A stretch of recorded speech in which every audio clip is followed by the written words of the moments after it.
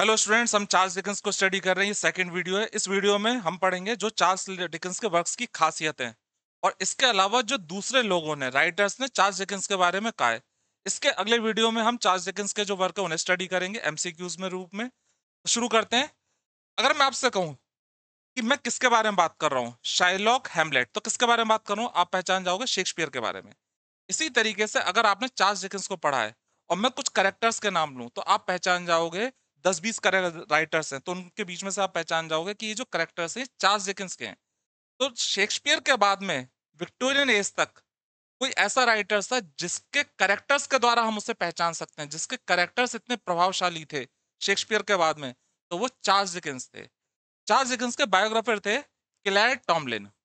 उन्होंने कहा था चार्ल्स डिकन्स के लिए regard him the greatest creator, सबसे महान क्रिएटर ऑफ़ करेक्टर करेक्टर का in English fiction after Shakespeare Shakespeare के बाद में सबसे महानतम जो करेक्टर क्रिएटर है तो वो चार्ल्स डिकेंस है। चार्ल्स डिकेंस के जो करेक्टर हैं, वो अपने आप में यूनिक थे। उनके नाम से हम उन्हें पहचान सकते हैं।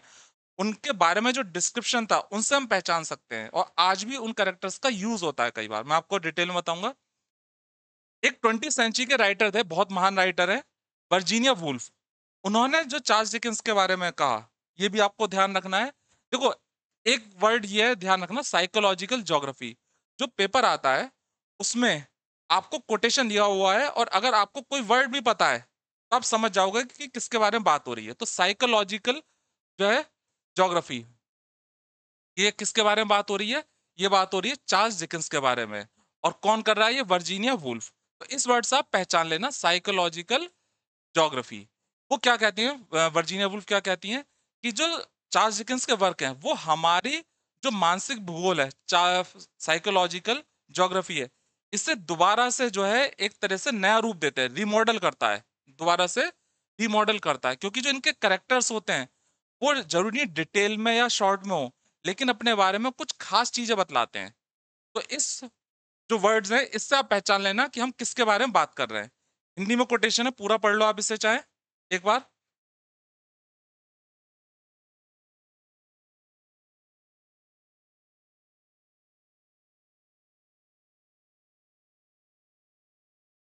नेक्स्ट देखते हैं। कार्ल मार्क्स भाई मार्क्स का नाम तो सुना होगा। मार्क्सिस्ट थ्योरी होती है। जो वर्कर्स के राइट्स की बात करते हैं हम। दुनिया भर में जो वर्कर्स के राइट्स हैं, आज भी हम जो स्टडी करते हैं, जो कम्युनिस्ट पार्टी पार्टियाँ दुनिया भर की, चाहे इंडिया की हो, चाहे वो चाइना की हो, चाहे रशिया की हो, वो सभी कार्ल मार्क्स की थ्योरीज पे कहीं ना कहीं वर्क करती हैं, उससे प्रभावित है। तो कार्ल मार्क्स जो इतने बड़े जो है, एक तरह से का रेवोल्यूशनरी थे, उन्होंने चार्ल्स डिकेंस के बारे में क्या कहा? कार्ल मार्क्स कहते हैं डिकिंस के बारे में issue to the word more political and social truth Charles Dickens ने दुनिया को ज़्यादा राजनीतिक और सामाजिक सत्य दिए हैं, जो दूसरे राजनीतिक पॉलिटिशियंस राजनीतिक लोग पब्लिसिस्ट या नैतिकवादी लोग हैं, उन्होंने जितने मिलाकर दिए हैं सामाजिक सत्य, उससे कहीं ज़्यादा चार्ल्स डिकिंस ने दिए हैं। तो आप इसको पहचान सकते हो more political and social truth ये फ्रेज को ध्यान रखो, ये कही गई है चार्ल्स डिकिंस के लिए और कही किसने? कार्ल मार्क्स ने। तो ध्यान रखिएगा, हिंदी में लिखा हुआ है इसे, आप एक और पढ़ लो इसे।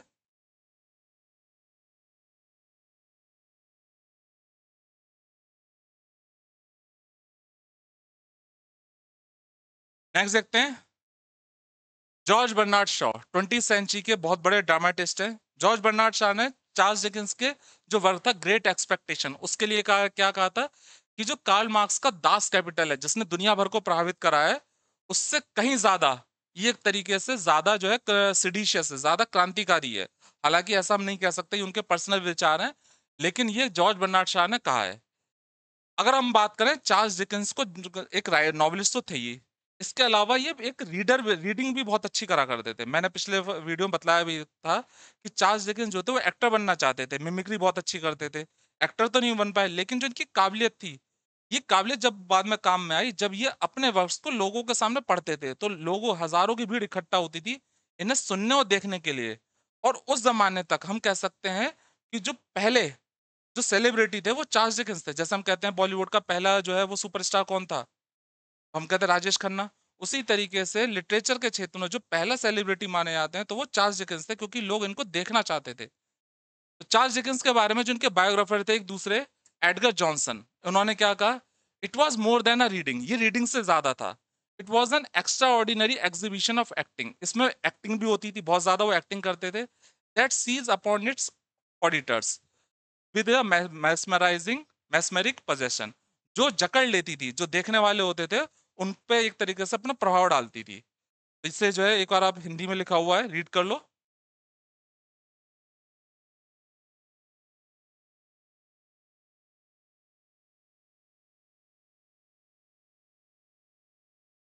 नेक्स्ट देखते हैं। Characteristics of Charles Dickens novel तो अब हम जो डिकेंस के वर्क की खासियत है, उनको स्टडी करेंगे।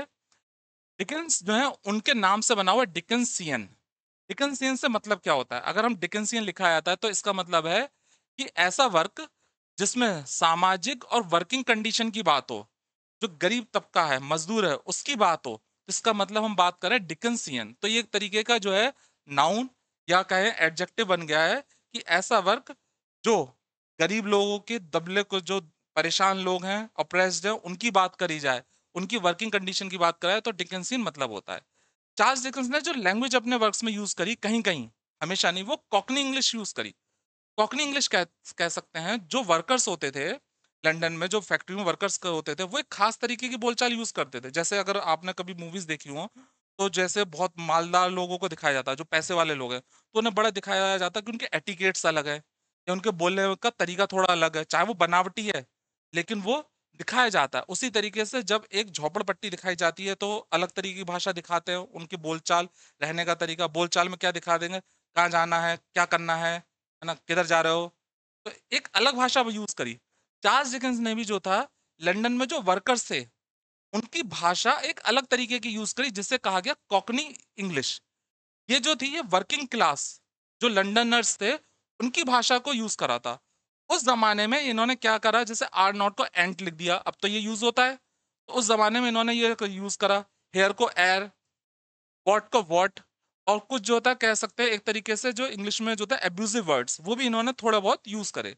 तो ये एक तरीके की कॉकनी इंग्लिश उन्होंने यूज़ करी अपने वर्क्स में। अब बात करते हैं इनके वर्क्स के खासियत की रियलिज्म चार्ल्स डिकन्स की बात करें तो एक रियलिस्टिक राइटर्स थे पाइनियर ऑफ़ रियलिज्म थे, जिन्होंने रियलिज्म जो देखा उसको उन्होंने दिखाया, छिपाया नहीं कि खूबसूरती से दिखाते जो पोएट्स होते थे तो उन्होंने जैसे खूबसूरती के ऊपर दिखाया, ऐसा कुछ नहीं था, इन्होंने जो कड़वी चीज़ थी, वो भी इन्होंने दिखाई। और दिखाई कहाँ की? जो लंदन था, उसमें उन्होंने जो कुछ देखा, विक्टोरियन एज में जो लंदन था, उसको उन्होंने दिखलाया, उन्होंने कुछ छिपाया नहीं। विक्टोरियन एज एक ऐसी एज थी, जिसमें इंडस्ट्रियल रेवोल्यूशन बहुत ज़्यादा हो रहा था। अमीर लोग बहुत अमीर हो रहे थे और गरीब लोग जो थे, वो गरीब होते जा रहे थे। उनके पास में जो था राइट्स नहीं थे, उन्हें बहुत कई घंटे काम करना पड़ता फैक्ट्रियों में बुरी कंडीशन में काम करना पड़ता तो ये सब चीज़ें उन्होंने दिखाई। स्ट्राइक्स दिखाई, हड़ताल दिखाए राइट्स दंगे दिखाए उन्होंने। स्कूल दिखाए, जहाँ पे बच्चों को सिर्फ़ और सिर्फ़ रटवाया जाता था। ये विक्टोरियन एज की बात कर रहे हैं। विक्टोरियन एज में ऐसे स्कूल थे, जिनमें सिर्फ़ ध्यान दिया जाता था कि बच्चा रटे, रटंती विद्या, उसको दिखाया। इंडस्ट्रियल रेवोल्यूशन जो इंडस्ट्रियलाइजेशन था, उसकी जो कमियाँ थी, वो दिखाया। चाइल्ड लेबर के ऊपर दिखाया, बहुत ज़्यादा तब चाइल्ड को जो था लेबर के तौर पर इस्तेमाल कराया जाता था। तो ये सब चीज़ें उन्होंने अपने वर्क्स में दिखाई। तो रियलिज्म जो है, एक तरह से उनके वर्क्स में मिलता है रियलिस्टिक राइटर थे। ह्यूमैनिटेरियन नोट देखो ह्यूमैनिटेरियन से मतलब मानवीय मानवीय। तो इनके वर्क्स में हमें एक मानवीय झलक मिलती है। मानवीय झलक मिलती है, मानवता के प्रति जो है, इनके वर्क्स में हमें झलक मिलती है। ये रेड कलर में इसको आप देखो। He tried to arouse the conscience of the people Charles Dickens ने कोशिश करी लोगों का कंसाइंस जमीर को जगाने की अराउज जमीर को जगाने की कोशिश करी अगेंस्ट द एक्सप्लॉयटेशन शोषण के खिलाफ ऑफ़ द अप्रेस्ड जो दबे कुचले थे, उनके ऊपर जो शोषण थे, उसके खिलाफ जो है उन्होंने लोगों के जमीर जगाने की कोशिश करी। And the downtrodden downtrodden भी दबे कुचले अप्रेस्ड और डाउन टोडन एक ही तरह से हो गए। तो चार्ल्स डिकेंस के वर्क्स जो है, उनमें हमें ह्यूमैनिटेरियन एक मानवीय झलक हमें मिलती है। करेक्टराइजेशन बताया था मैंने कि चार्ल्स डिकेंस के जो करेक्टर्स है, वो अपने आप में यूनिक है। शेक्सपियर के बाद में हम कह सकते हैं कि उस समय तक सबसे यूनिक जो थे करेक्टर्स वो इनके थे।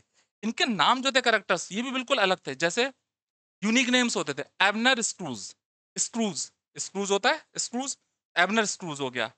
टाइनी टिम टाइनी टिम अलग ही नाम हो रहा है टाइनी टिम और क्रैशिट अलग नाम हो रहा है। ये क्रिसमस कैरोल जो एक शॉर्ट स्टोरी है इंपॉर्टेंट है टेंथ क्लास में भी थी है पहले सीबीएसई बोर्ड e में तो उसके ये करेक्टर्स है ओलिवर ट्विस्ट नाम ही देखो ओलिवर ट्विस्ट है, उसमें नाम ही अलग है ट्विस्ट इसके अलावा आर्टफुल डॉजर ये आर्टफुल लिखा हुआ है। फैगिन फैग से बना फैगिन बिल साइक्स ये ओलिवर ट्विस्ट में। ग्रेट एक्सपेक्टेशन अगर हम बात करें तो पिप पिप अलग ही होगा पिप मिस हैविशम हैविशम थोड़ा अलग नाम हो रहा है। एबल मैगविच मैगविच विच तो ये अलग नाम थे, बिल्कुल ही अलग नाम थे। और इन करेक्टर्स की खासियत थी कि कई जो करेक्टर्स थे उनका जो डिस्क्रिप्शन होता था कि ये ऐसा था, मोटा था, पतला था तो इनके करेक्टर के जो लक्षण होते हैं उनसे हम पहचान जाते थे कि ये करेक्टर इस करेक्टर की बात हो रही है। तो ये भी इनके बारे में ये जो था, एक डिटेल में बतलाते थे। तो इनके नाम यूनिक होते थे और इनका डिस्क्रिप्शन भी देते थे। अगर हम बात करें तो ज़्यादातर इनके करेक्टर कैसे होते थे? तो इनके करेक्टर जो हमें ज़्यादातर, हमेशा नहीं कहेंगे कि ये हमेशा है, ज़्यादातर करेक्टर्स इनके टाइप्स होते थे। टाइप से मतलब क्या है? कुछ कुछ कह सकते हैं कि छह सात करेक्टर को आप एक साथ रख सकते हो कि वो एक जैसे होंगे। जैसे मैं कहूँ हेमलेट हेमलेट टाइप नहीं है। हेमलेट अपने आप में इंडिविजुअल है। हेमलेट अगर कहें तो एक ऐसा व्यक्ति जो बिल्कुल अलग है। सोचने में टाइम ले रहा है, बदला लेना चाह रहा है। हेमलेट जैसा करेक्टर आपको कहीं आसपास नहीं मिलेगा। तो ये इंडिविजुअल करेक्टर है।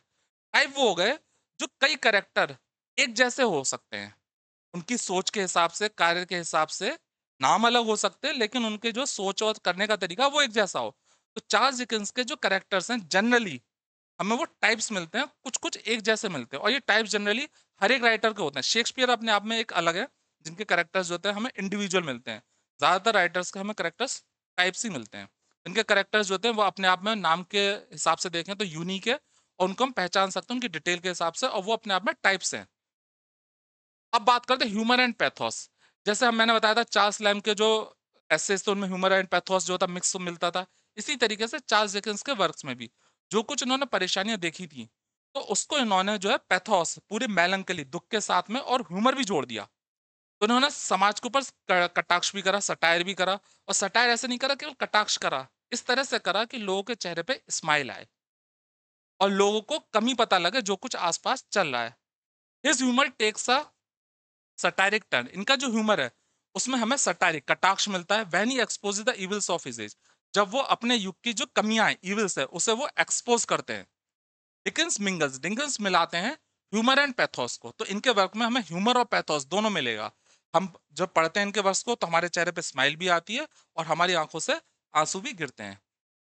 डिकेंस प्लॉट्स भाई चार्ल्स डिकेंस का अगर हम वर्क की बात करें तो इन्होंने जो ज़्यादातर वर्क्स जो थे वो इनके न्यूज़पेपर में वीकली मैगजीन वीकली पब्लिश होते थे, कहानी के तौर पे। तो लोग क्या होते थे? कहानी खत्म हो जाती थी तो सोचते थे, अभी, अब आगे क्या होगा? फिर आगे इंतज़ार करते थे, अगले सप्ताह पब्लिश होती थी।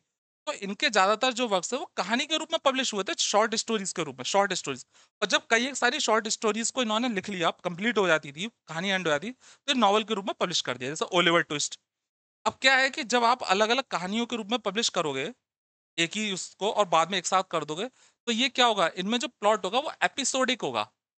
तो इनमें हमें डिटेचेबल एपिसोड्स मिलते हैं। नो ऑर्गेनिक यूनिटी ध्यान रखिएगा नो ऑर्गेनिक यूनिटी तो हमें इनमें यूनिटी नहीं मिलती है। जो नॉवल है, उसमें हमें जो है, एक कहानी नहीं मिलेगी। कई एक सारी शॉर्ट स्टोरीज होती थी जिनको एक साथ चलते थे तो एक ऐसे चल रही, कहानी बीच में हो गई, एक ऐसे आ गई। फिर एक ऐसे आ गई, एक ऐसे आ गई। और लास्ट में जाके वो सारी की सारी जो होती थी, वो मिल जाती थी। तो डिटैच स्टोरीज डिटैचेबल एपिसोड्स कई सारे एपिसोड्स होते थे जो लास्ट में आकर मिल जाते थे। तो इनका जो प्लॉट होता था, वो काफ़ी कई बार जो होता था, वो डिफ़िकल्ट हो जाता। और वैसे भी देखो नॉवल जो होता है, वो कई पेज का होता है। ड्रामा छोटे होते हैं। नॉवल बहुत हैवी होते हैं। उस जमाने में नॉवल्स लिखे तो वो तो वैसे ही बहुत हैवी होते थे। तो एक ही स्टोरी नहीं चल सकती कभी भी नॉवल में। नॉवल जब आप पढ़ोगे तो उसमें कई बार एक पैरेलल स्टोरीज चलने लगती हैं। और वो पैरेलल स्टोरीज कई बार तो ऐसी होती है कि मेन प्लॉट से ज़्यादा हैवी हो जाती हैं। इनके वर्क्स में अगर हम देखें तो कई पैरेलल स्टोरी चलती थी, जो बाद में जाके मेन प्लॉट में मिल जाती थी। तो अगर हम कहें तो इनके जो नॉवल थे, उनमें कई सारे detachable episodes detachable episodes means आप उन एपिसोड्स को हटा सकते हो, जो कहानी है, उस पर फ़र्क नहीं पड़ेगा। आपने मान लो इसको हटा दिया। तो ये जो कहानी है मेन कहानी, इस पर फ़र्क नहीं पड़ेगा। तो डिटैचेबल एपिसोड से ऑर्गेनिक यूनिटी हमें नहीं मिलती है। तो इस तरीके की चीज़ें हमें जो है, इनके वर्क्स में देखने को मिलती है डिकेंस के प्लॉट्स में। इसी के साथ में ये खत्म होता है वीडियो। उम्मीद करूँगा आपको अच्छे से समझ में आया होगा। मिलते हैं अगले वीडियो में। Good bye